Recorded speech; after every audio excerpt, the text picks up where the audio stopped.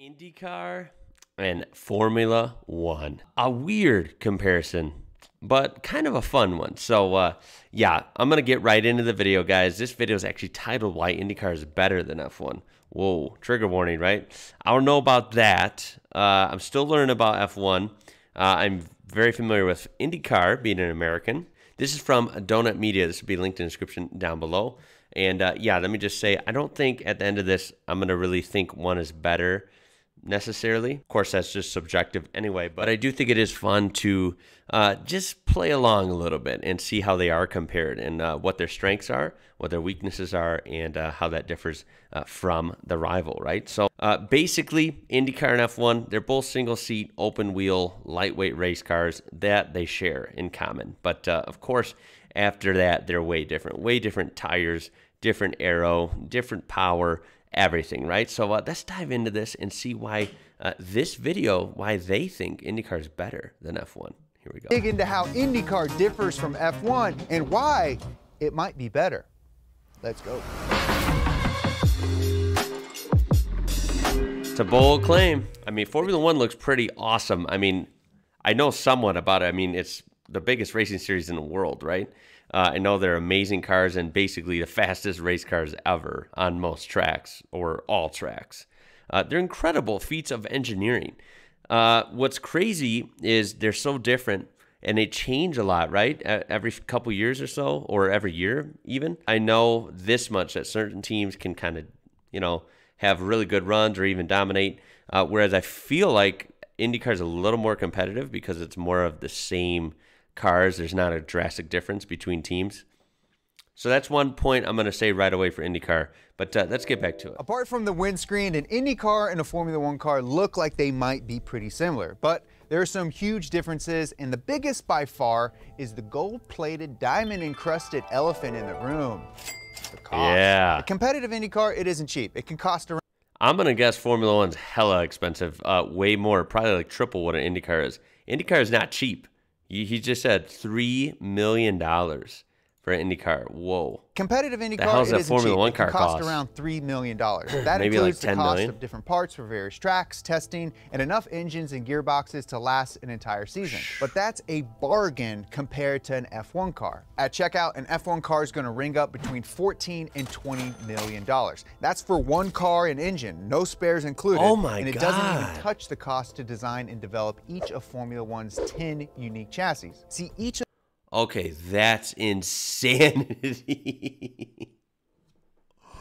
I had no idea. Dude, I legit thought that just just based on nothing. I thought Formula 1 cars were like even before this this video especially, I thought maybe like 5 to 10 million max. I would have leaned towards 5 million. Holy smokes, and there's even more cost actually. Wow. Of the Formula One constructors That's are required insanity. to design their own car within the FIA regulations. That's the formula. Every team's chassis and aerodynamics will be a bit different from everyone else's, and it So that really sucks when they crash. team can be penalized for copying another car's design. Oh, this might sound familiar. This happened to Racing Point in 2020 when they were fined for having parts too similar to the previous year's Mercedes. Unlike Formula Hmm. One, Indy cars are supposed to be similar, and to accomplish this, they use many spec components. Those are parts that teams buy from a third party and are identical Right. for everyone. Since the teams don't have to do all the individual R&D for those components, that keeps IndyCar's costs at just a fraction of what's found in F1. The chassis and aerodynamic parts of every IndyCar are designed and built by Dallara, an Italian manufacturer specializing in race cars. They build components for Le Mans, Formula 2 and 3, and even the upcoming next-gen NASCAR. Oh, IndyCar wow, teams simply cool. buy a pre-made chassis from Dallara for $349,000. Hmm, nice. The downside of spec parts is that you don't have individual teams innovating or developing new designs that push the sport forward like you do in Formula One. But everyone having numerous identical parts means that one team can't win simply by out engineering or outspending their competition. And in F1, one of the biggest targets of engineering and spending is in the engines. Formula One has Yeah. four engine manufacturers Mercedes, Ferrari, Renault, and Honda. Okay. The F1 power unit is the most expensive part of the car, and a single one can cost $11 million. Oh my god! But God, Mercedes has spent a total of 1.2 billion over seven years to develop their current power unit within the strict FIA regulations. For that price, Are you freaking kidding me with these? Damn, that is insane. I can't wrap my head around this. Talk about a billionaire's playground. I mean, Formula One is just just like a, a money explosion fest. but Holy Mercedes has spent a total of 1.2 billion over seven years to develop their current power unit within the strict FIA regulations. Damn. For that price, they've got a state-of-the-art turbo hybrid 1.6 liter V6 That always gets me. A V6, a 1.6 liter. Damn, that's small. Holy smokes. And this thing is turbocharged, he said. And do these still rev high? I did see clips, uh, you know, growing up here and there of Formula One cars revving to like 20,000 RPM, which blows my freaking mind. That is unreal. Uh, do these still rev that high? I know Indy cars still to this day, I believe, rev to 11,000, maybe 12,000 RPM. But geez, man, F1 engines are just on another level. That's For that price, literally got unreal. a state-of-the-art turbo hybrid 1.6 liter V6 capable of producing over a thousand horsepower. IndyCar has Wow. just two engine manufacturers. Chevy they got and Honda, Honda. they got Chevrolet. Yeah. And teams can choose which engine to buy for their cars. Those engines cost a thrifty 125 grand, or about 99% cheaper than an F1 engine. You know, 125 grand for those Indy engines, that's not bad because that's not a slouch. That's a beast. you know, Indy cars are still badass, right? I know they're not on that F1 level, but geez, when we're talking about cost ratio, they're pretty damn good, right? I mean, holy smokes. You think about how cheap it is compared to one. Damn, they're a good deal. Does that mean you're getting 99% less power? No. no, you don't. These are state-of-the-art twin-turbo 2.2 liter V6s capable of 750 horsepower. Jeez, Each still not horsepower bad. in an IndyCar costs a measly $167. In F1, Wow. you're paying $11,000 per pony. How much power an engine makes depends heavily on how much fuel it consumes, and one of the challenges for F1 engineers is FIA regulations that limit fuel consumption. The total fuel allowed for one Grand Prix is limited to 110 kilograms, around 145 liters. There's no refueling during pit stops, and the fuel flow rate can't exceed 100 kilograms an hour. A 1,000 horsepower Bugatti Gee, Veyron wow. can drain its 100 liter tank in just 12, 12 minutes. minutes. Developing an See, this is what's cool is I'm still learning a lot about Formula One, and uh, that's the kind of stuff like I had no idea they had rules like that. This is really interesting. It makes it extremely strategic, uh, almost to the point like like a headache, right? Like this is really an art form. Getting an F1 team, an F1 driver that can drive on that kind of level, and then having an F1 car that can meet all these regulations and win. Like, engine God, that's capable hard, of a thousand horsepower that can last an entire two-hour race with just 135 liters of fuel is a huge Right. engineering challenge that It costs a lot of money to figure it out. Indy cars don't have the same limitations. Even though their fuel tanks are about half the size at 70 liters, they do refuel during pit stops, and there's no limitation on how much fuel they can use in a race Right. or how quickly it flows to the engine. IndyCar engineers don't have to spend as much time thinking about fuel economy, which means power is cheaper and easier than it is in F1. Even though there are no restrictions on fuel consumption, IndyCar does restrict the amount of turbo boost for different conditions. Yeah. Depending on whether the car is qualifying or racing, and depending on the track, cars have between 18 and 22 psi of boost, which means actual power varies between 550 and 700 horsepower. But drivers can also briefly increase boost to 24 psi, producing the engine's maximum power with a push to pass button on the mm-hmm. steering wheel. F1's DRS system also. Yeah. makes passing easier by reducing I've heard of the DRS but system. DRS only works under conditions specified by the FIA and only at certain Those parts sparks of are crazy. track. An IndyCar driver, it's free to push that push the pass button whenever, Whenever. they choose. They can use the power to pass, like the name says, or to defend against a pass. But push Yeah, so that one, uh, everyone would probably have their own opinion on. That one, I'm just going to give the edge to IndyCar. I think it's cool that you can use that boost whenever you want, uh, rather than on an F1 track. I know it's different on each track. Uh, you know, there's only certain sections where that's unlocked, and then other sections you can't use it. Now, granted, I know it's usually set up for a section that would make sense, uh, but still, you know, I mean, the fact that there's a limitation on it is kind of uh, annoying, you know. So Push to pass is only just my thought. available for a total of about 200 seconds per race, varying by track. When to use it and how many times, that's up to the driver. Now 750 horsepower sounds pretty good to me, and I'm not sure the extra power of a Formula One engine is worth the $10.8 million price difference. Formula One gets criticized for being a series where the deepest pockets often win, Right. and runaway costs like these are why the FIA instituted a budget cap of Mm. 145 million per team in 2020. But somehow Mercedes managed to spend 450 million last year, three times the budget cap. So how is yeah, that even that's possible? crazy. Well, remember all that engine development they do? That's exempt from the cap, along with a ton of other costs like Oh, driver salaries, travel costs, and even marketing. But cash like that can buy a lot of speed. The fastest speed ever recorded in an F1 race was back in 2016 when Valtteri Bottas reached 231 miles per hour at the Mexican Grand Prix. I had no idea they went that fast. I had no idea Formula One could go that fast. Uh, I thought they had too much aerodynamic drag, like uh, to go that fast. But it's clearly they can make them slippery if they want to, and also the fact that they just have so much horsepower and lightweight. It's it's incredible, right? Uh, 231 at the Mexican Grand Prix. Wow, that is amazing. 231 miles per hour is pretty fast. That's But scary. It's also slower than 236 miles per Yeah, hour. IndyCar which can is go what faster most than that. Indy cars reach during ordinary laps at the Indy 500. Yeah. All that speed can be yours for an annual team budget of just $10 million. 440 million less than Mercedes F1 budget. True. Put that in perspective, 440 million is more than the annual GDP of Tonga. now you guys are put back into perspective. So with more power and a Okay. country's worth of money, why do F1 cars have lower top speed than Indy cars?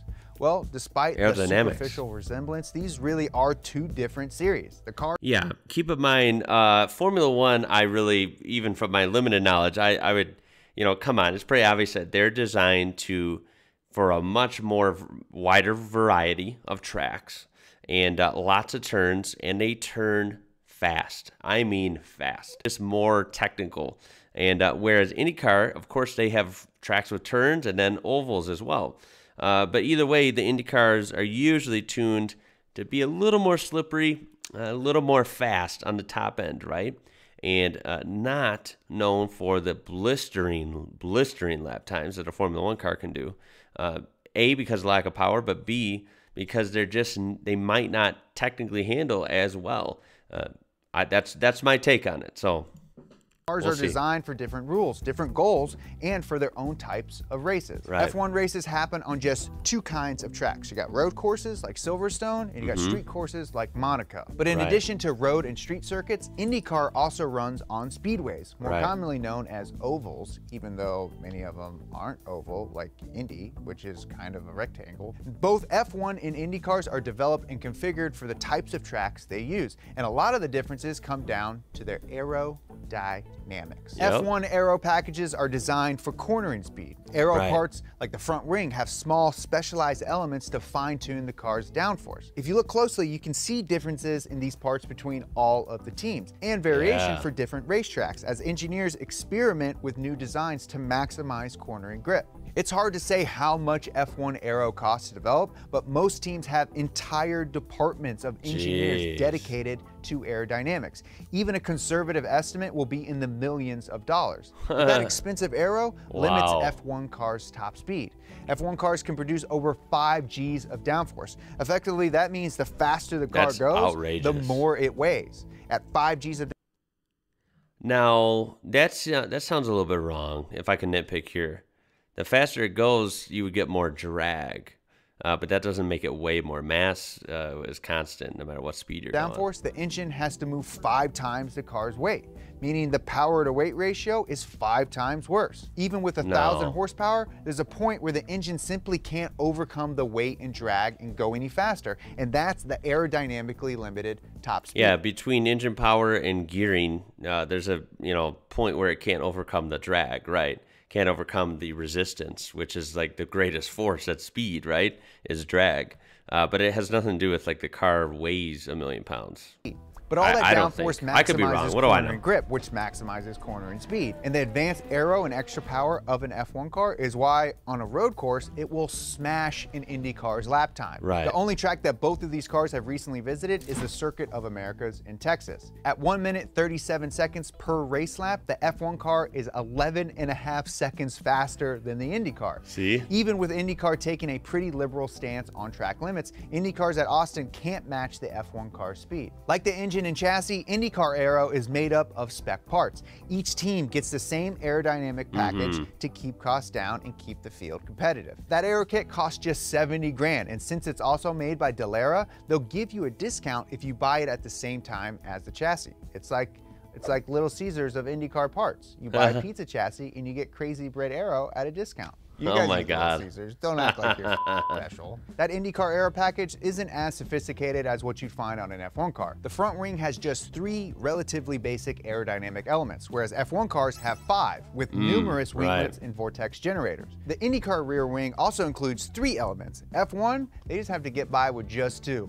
Sad trombone. but it has DRS, vortex generators, and a bunch of other little bits and pieces. And that's all due to the biggest cost difference. F1 Aero comes with a team of engineers who are constantly testing and fiddling to optimize for the precise conditions of one specific race. The IndyCar Aero has just three pre-made configurations and only very small amounts of adjustments. It's mm-hmm. enough to keep like one engineer busy for an entire afternoon. But that discount Aero turns out to be the key to IndyCar's top speed. In its highest downforce configuration, the kit can make just 4 Gs, or about 2,500 kilograms of downforce. Okay. That's about 500 kilograms less than an F1 car. So even if an Indy car had 1,000 horsepower, it still couldn't outcorner an F1 car. However, on a speedway like one in Indianapolis, an F1 car would be fighting against its own downforce. The Indy car can just switch to its low downforce aero configuration. Yeah. That removes all but a single element Yeah, they talked about that in the last video I did too, uh, which look for that in the end screen if you didn't see it. I'll, I'll link it down there. It's a, doing really well. It's a good video. Um, that one, they the guy in the original video I was watching uh, mentioned Indianapolis Motor Speedway. Going to Indy, who would win Formula One versus IndyCar? Apparently, he has a video on it. I would like to see it sometime. Definitely on that track. Assume that the IndyCar would would tear down, man. It would it would win. Uh, probably by a little bit. I, I think it would be an easy win for the IndyCar at that track. one car has, and it's why the IndyCar can reach a higher top speed with just 700 horses. Formula One tries to institute cost-cutting measures, but that's difficult because it still wants to be a showcase for new technology in engineering battles. IndyCar is different. Instead of making individual teams' innovations into part of the show, they make it cheaper for teams to compete and mm-hmm. on a more even playing field. And because of that, it's attracted racers from all over. In this year's past Indy 500, eight of the drivers on the grid had F1 experience. That includes Wow. Romain Grosjean, Kevin Magnussen from the Haas F1 team, and Marcus Ericsson from Alfa Romeo. And he even said, I wouldn't be surprised to see more F1 drivers looking to come here. I prefer racing in IndyCar. Yeah. The diversity of tracks Now that's interesting, right? That's going to vary among fans, among drivers. Uh, yeah, I don't know. I, personally, even again, not a F1 pro at all or, or super fan, but I'm not sure I would see a trend of you know a lot of F1 drivers leaving to go to IndyCar. I think that might be a little bit of a stretch. I, I would think. I still think F1 would be the more prestigious league. Uh, you know, clearly more money in it and a, a global audience, right? I mean, F1 is popular all around the world, whereas IndyCar is still going to be limited exposure, uh, nowhere near the popularity of F1, as far as I know. drivers makes IndyCar a fan series too, and its cost-cutting measures have kept ticket prices low. You can go That's watch cool, an yeah. IndyCar race for under 50 bucks. That's and you awesome. can get a pit and paddock pass for around 100 bones. Paddock access in the F1 that costs thousands of dollars. Oh Those different philosophies end up producing lots of Ouch. differences between the two series, including lots of stuff we don't have time to talk about, kind of like Steve Buscemi and Gisele Bundchen. Alrighty, so there it is. Uh, that is why they think IndyCar is better than F1. So, so yeah, I don't uh, necessarily agree. Uh, I don't think really either one is better than the other. I think it's. I'm glad that they both exist. I think that they're similar enough to make a loose comparison for fun and uh, for conversation. Uh, but I'm, they're definitely you know different and clearly have different budgets and technology going on and all that. So uh, it, it's it is it's kind of fun. uh, but they're definitely different. And I don't really think one is better than the other. I think some people might like IndyCar better for a couple of reasons, and I think that uh, a lot of people would like F1 better for different reasons as well. So tell me what you think of that down below. Is uh, this a fun comparison? Uh, do you kind of agree with me thinking that n- neither one is really better than the other, or do you really think one of them is totally better than the other? Uh, let me know down below what you guys think about that. And uh, of course, please throw a thumbs up and a like on this video. Help this video out. Uh, I do appreciate it. And of course, subscribe. Join our amazing community here and uh, never miss a fun video like this. Check the description out for this original video from Donut Media and uh, other ways you can interact with my channel. My name is Ian. You're watching IW Rocker. Until next time, guys, catch you later.